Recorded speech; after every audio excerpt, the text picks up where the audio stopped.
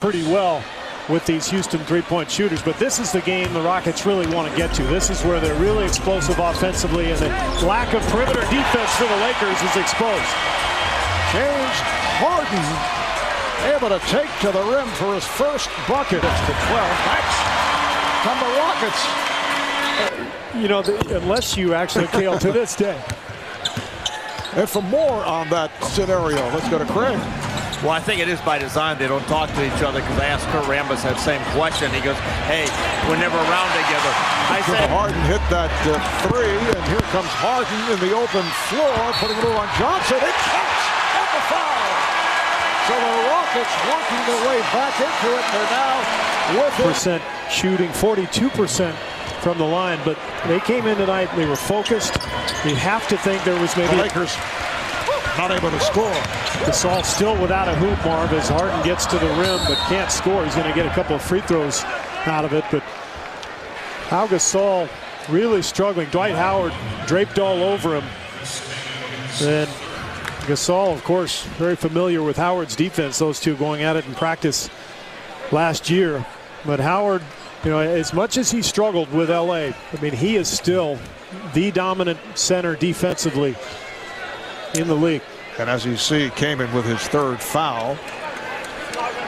Wesley Johnson getting set to check back in for the Lakers. That that can find some rhythm. Both excellent skill players. They can both pass and shoot. And there were some moments in the preseason where they really fit well, but defensively, especially these days. by Howard. James Harden leads the Rockets with 13 points. Foul by Young. It has been a foul fest for the Lakers here in the second quarter. Young picks up his second.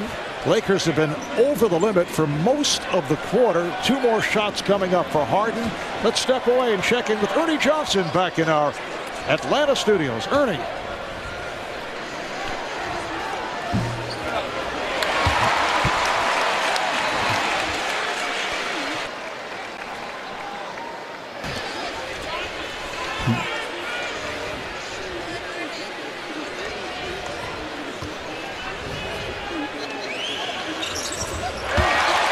Said he's actually still having nerve issues or, or, or res, uh, residual effect from nerve damage from that injury. So, and that last three makes it six straight. Team LeBron and Wade, they bring it defensively every night. The Spurs with Duncan and Robinson. Uh, you know, the, the Bulls Houston 25 trips to the free throw line. Lakers only six. Harden, beautiful move off the dribble, and he draws the foul.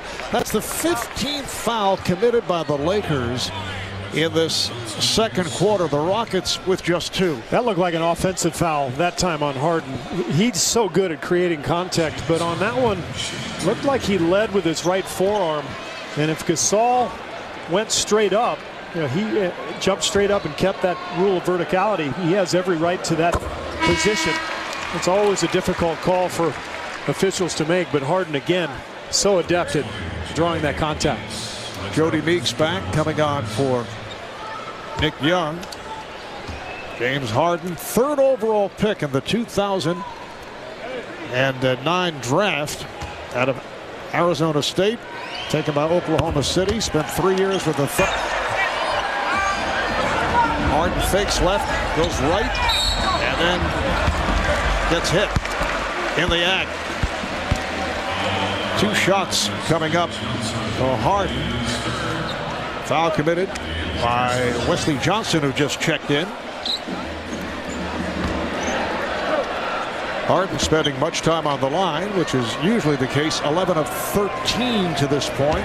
Very good free throw shooter, 85% last year. In fact, he was second. Step thing he's got. But Harden has not gotten the range from the three-point line yet this season. He came into tonight's game just 9 of 30. Powell is 1 of 9 from the field. Harden. Foul. It counts. The basket counts and the foul on Blake. At the free throw line.